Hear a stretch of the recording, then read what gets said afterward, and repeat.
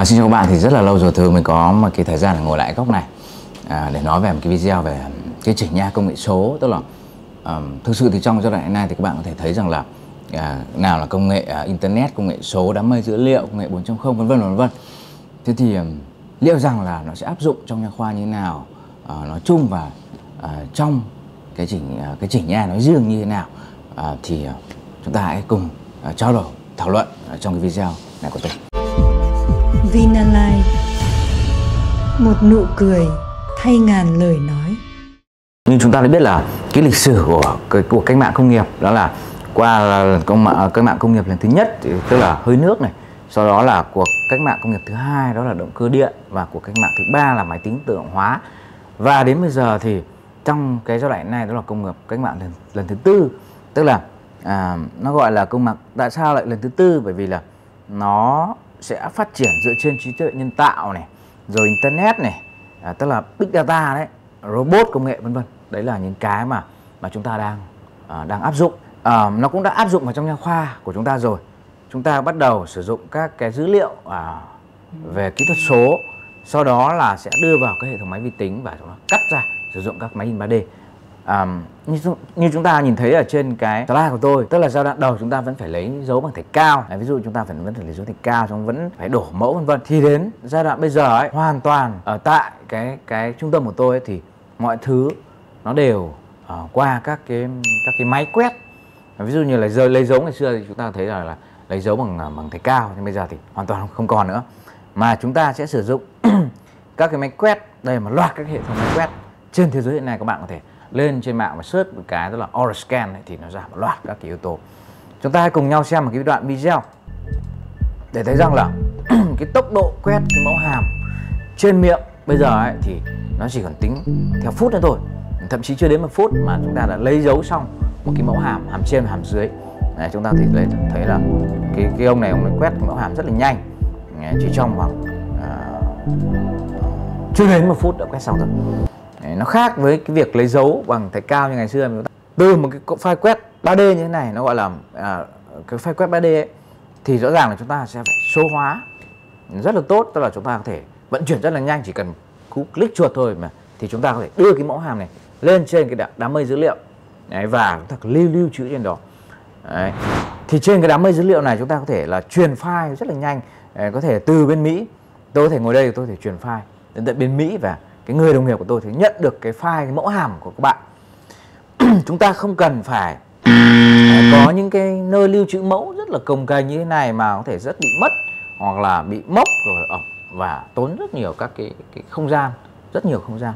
Thế thì rõ ràng đây chúng ta có thể lưu trữ ở trên các đám mây internet. Trong một cái ổ cứng chúng ta có thể lưu được cả hàng ngàn mẫu hàm uh, của các bạn và uh, lưu trữ ra cả ổ cứng nữa hoặc là thậm chí lưu trữ ra cả cái điện thoại của chúng ta và hoàn toàn không bị mất các dữ liệu và các dữ liệu nó hoàn toàn chính xác.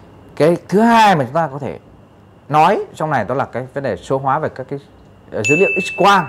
Tức là à, chúng ta có thể chụp à, được cái phim x quang chất lượng rất là tốt bằng CD, cuốn beam ấy. Để chúng ta có thể nhìn thấy là rất là chân thực chúng ta phải tách ra. Đấy, và có thể nhìn thấy những cái cấu trúc một cách cực kỳ chi tiết mà không phải là hình ảnh 2D nữa. Thậm chí chúng ta có thể sử dụng các cái file uh, x quang À, uh, file ấy có thể tách ra là các cái răng. Đấy, răng. Và à, có thể lưu trữ hoặc là có thể đưa vào các hệ thống máy in 3D để chúng ta sản xuất ra các cái mẫu hàm răng của chúng ta. Thậm chí chúng ta có thể số hóa được cái dữ liệu khuôn mặt. Bình thường chúng ta có thể dùng à, như các bạn thấy là chúng ta sử dụng các cái điện thoại để chụp thì đấy chỉ là hình 2D thôi. Mà bây giờ chúng ta có thể số hóa cái khuôn mặt bằng các file 3D thì chúng ta hãy xem cái video này để thấy rằng là cái số hóa khuôn mặt rất là hay. Đây ví dụ như sử dụng các cái máy quét mà quét cái hình ảnh ở khuôn mặt của cô gọi người mẫu này. Và sau một thời gian này chỉ trong chưa đến một phút thôi, thì nó đã số hóa lên khuôn mặt trên cái phần mềm này của chúng ta rồi. Và có thể di chuyển trên các hệ thống máy vi tính. Và các cái file hình ảnh khuôn mặt 3D này cũng được lưu giữ trên các cái đám mây dữ liệu rất là tốt. Và từ cái khuôn mặt 3D này, thì chúng ta phân tích dựa trên các số liệu rất là chuẩn xác. Thì đấy là một trong những cái cái vấn đề. Thứ nhất là lưu trữ cái cái cái cái thông tin lưu trữ thông tin. Thì cái phần thứ hai là chúng ta phân tích dữ liệu.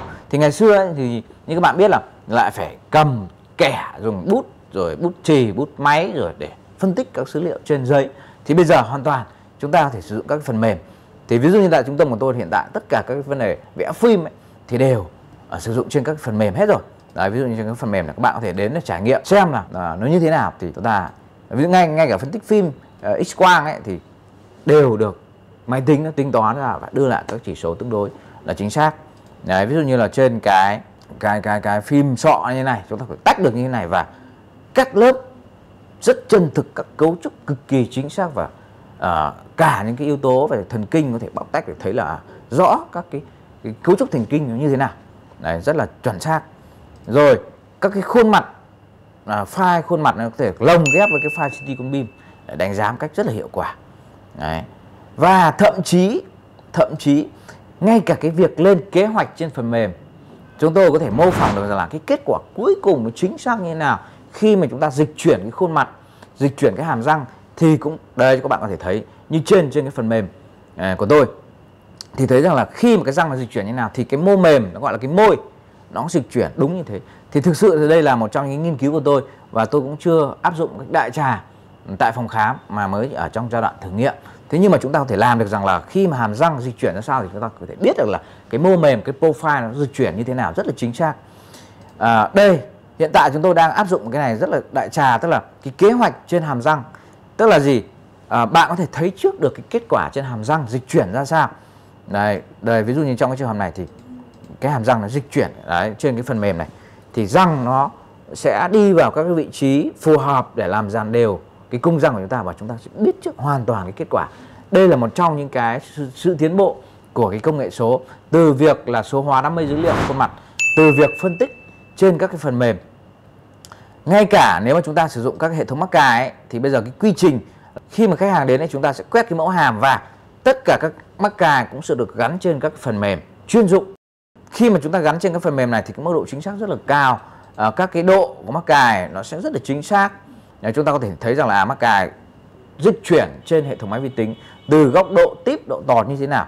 Và khi đó thì chúng ta sẽ gửi đến các hệ thống máy in 3D đây ví dụ như các hệ thống máy in 3D để sản xuất ra các khay chuyển tức là cái khay dán gắn mắc cài gián tiếp ấy, indirect bonding tray ấy. và từ các cái khay gắn mắc cài gián tiếp này thì chúng ta bắt đầu chuyển lên trên miệng và chúng ta gắn ở trên miệng. Ngoài ra thì gồm loạt các robot bẻ dây. Để chúng ta có thể nhìn thấy là các cái robot bẻ dây cực kỳ chính xác theo các lệnh. Đấy, thì và đến bây giờ thì cái công nghệ khay niềng răng trong suốt nó là một trong những cái bước tiến nhảy vọt của công nghệ số. Tức là gì? Từ cái file lập kế hoạch điều trị trên phần mềm như thế này. Đấy, chúng ta có thể biết trước được hàm răng dịch chuyển ra sao. Và từ đó thì chúng tôi sẽ gửi đến hệ thống máy in 3D chúng ta sẽ in ra một loạt các cái mẫu in 3D và từ cái mẫu in 3D như thế này mỗi cái mẫu in nó sẽ là một lần dịch chuyển răng. À, thì chúng tôi sẽ bắt đầu đưa vào các hệ thống máy ép à, đa năng và sẽ ép ra một, các cái khay các cái khay um, niềng răng trong suốt cho các bạn. Đây ví dụ như chúng ta có thể nhìn thấy đây là một cái khay uh, niềng răng trong suốt chưa được xử lý chưa được cắt. Và đây sau khi được cắt xong thì chúng ta có thể nhìn thấy. Và một cái khay này là một lần lần di chuyển răng nó cực kỳ chính xác. Chúng ta có thể biết trước được kết quả chúng ta có thể tính được lộ trình chúng ta có thể tính được tương đối thời gian. Và rõ ràng công nghệ số là một trong những bước nhảy vọt. Tôi không nói đến những cái hậu quả không nói đến cái sự mất dữ liệu rồi không nói về cái hacker vân vân vân mà tôi đang nói về những cái ưu điểm của công nghệ số nó sẽ giúp ích cho chúng ta như thế nào. Và trong thời đại này thì bạn hoàn toàn có thể trải nghiệm được các cái kỹ thuật như thế này tại trung tâm của tôi. Um, tại sao chúng ta lại không trải nghiệm? Tại sao chúng ta uh, không uh, có thể dự đoán được trước được kết quả? Tất nhiên thì cái gì cũng có mặt lợi và mặt hại của nó chúng ta có thể phối hợp giữa những cái cổ điển với những cái hiện đại để làm cho mọi việc tốt hơn. Thì đó là cái nội dung ở trong cái video ngày hôm nay tôi muốn chia sẻ với các bạn.